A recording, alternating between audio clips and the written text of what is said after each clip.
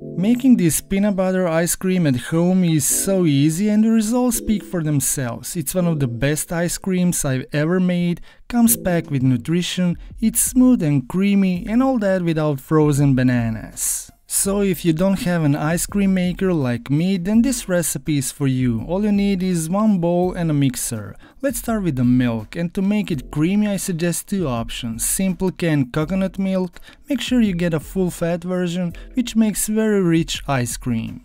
And to balance all that fat, I like to use this oat slurry, which I make by combining 1 part rolled oats and 2 parts milk, any milk is fine. I let the oats soften there for about 2 hours, then strain through the mash and press with a spoon to release more of the oat juice. It's still runny, but 3 to 4 minutes over medium heat will make it nice and creamy, full of delicious oat flavor. So I add half coconut milk, half oat slurry. For nice and intense peanut butter flavor I use natural 100% peanut butter, unsweetened, unsalted. And I would suggest you use room temperature peanut butter, it will make the blending easier. Now for sweetness I use dates in the form of this sweet paste you can easily make in your blender. I have this all the time in my fridge. Dates make this ice cream sweet enough, healthy enough, but also improve the creamy texture. I also add some vanilla which helps to prevent the ice crystals and pinch of salt because my peanut butter was unsalted.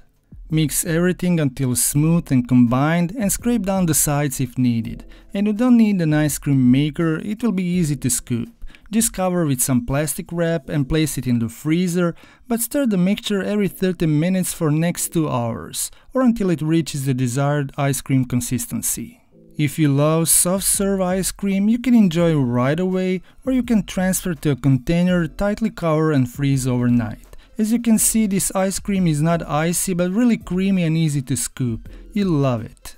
I topped mine with some chopped peanuts and drizzle with melted dark chocolate. It's not necessary but I encourage you to do the same. This easy peanut butter ice cream is both rich in flavor and texture, so much better than store-bought version. It has no sugars and artificial flavors, but has taste and creaminess of the real thing, and it's really fun to make. But if you're looking for low-calorie summer dessert, make this chocolate frozen yogurt. It's great replacement for ice cream and you love the flavor and texture. Check out that recipe now. Thank you so much for watching. See you in another video. Stay healthy, stay happy.